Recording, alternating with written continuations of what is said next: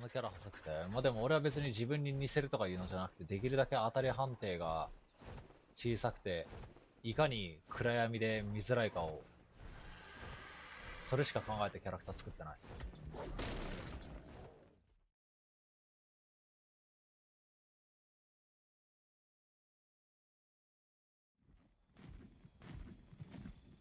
光の柱はね、定期的に落ちてくる補給物資みたいな感じ。色でレアリティが違う。これ黄色取ってこうぜ。あいいよいいよ、中見て。当たり引いてくれ。レレベレベル足んない？レベル足んない？45あー、ゴミやな。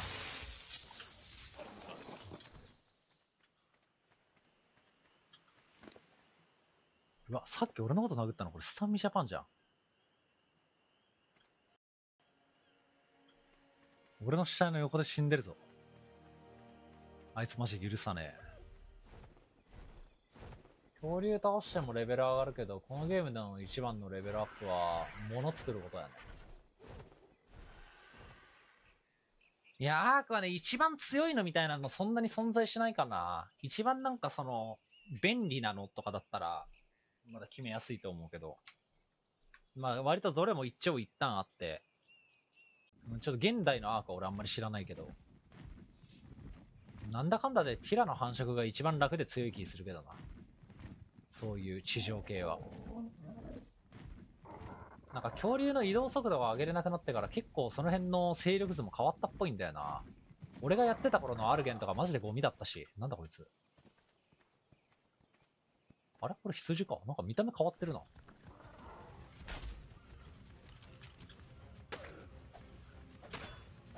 のゲームほんとちょっとラグがあるからちょっと先をこうやって攻撃しないとダメなんだよな。音出てねえのにダメージ表記出てる。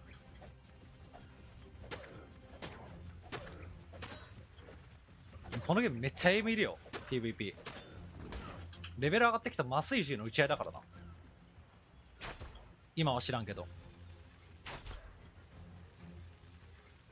プテラノドンとかに乗ってるやつに麻酔銃って眠らせるんだよ。空飛んでるやつに麻酔銃撃つんだよ。だからあの恐竜の背中にプラットフォームとか乗せて、プテラは無理だけど、プテラ乗せた後に、その、あ、プテラじゃねえ、あの、ケツアルコアトロスとかは、その、運転手が撃たれないように壁作ったりする。プラットフォームの上に。あれ、なんか攻撃できなくな？った。なんだこれ。サーバーラグってる。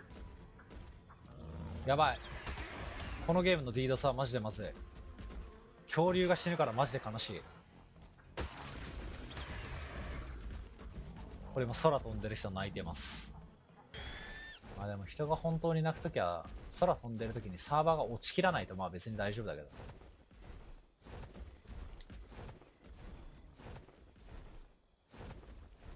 確かこのゲーム途中で空飛んでるときにサーバー落ちたら、そのままキャラクターの体がそのまま寝るから、下に落下して、確か自分も死んだりするし、鳥の恐竜は宙に浮いたままになって、二度と見つからなくなったりするから、すごい悲しい事件が起こる。まあでも下に緑色の光が出るからその上探せば一応鳥は飛んでるけど。